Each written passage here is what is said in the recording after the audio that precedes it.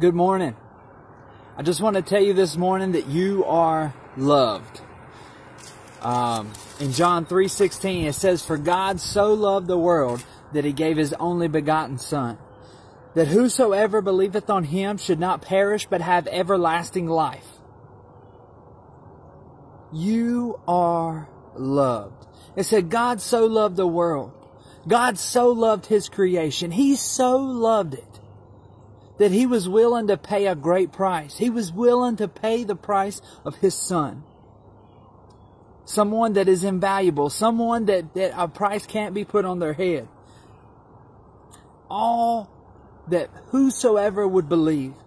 Anyone, anyone, you are a whosoever, I'm a whosoever. Anyone in this world is a whosoever would believe on him should not perish, but have everlasting life.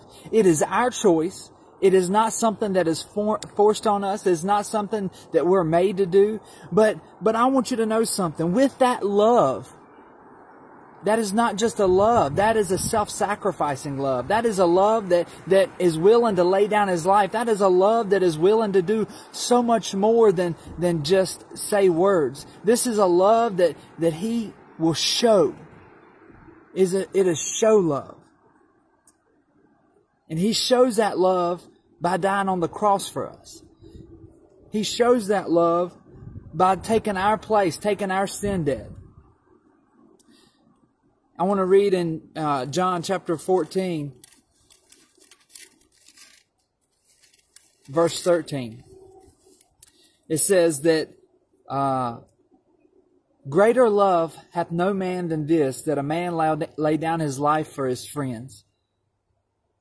And that's exactly what he did. There, there is no greater love than a self-sacrificing love. There is no greater love than a man give everything for his friends. A man to give everything. But you know, Jesus went a step further than that.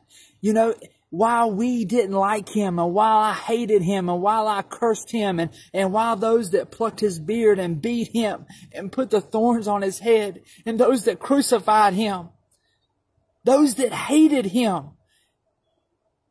He done it for them. He loved them. He loved them. Not because they loved him, but because he loved his creation so much that he didn't want any to perish, that he wants all to come to, to salvation. I want you to know that you are loved today. You don't have to buy this love. You don't have to trade for this love. You don't have to give anything for this love that God has. It is free and all you have to do is accept it. Jesus, please forgive me of my sins and come into my heart. And you've accepted that love into your life.